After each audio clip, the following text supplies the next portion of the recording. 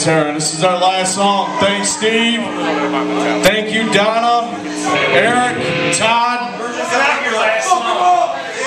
Mr. Virgen. If you want to come up for this song, by all means, you can.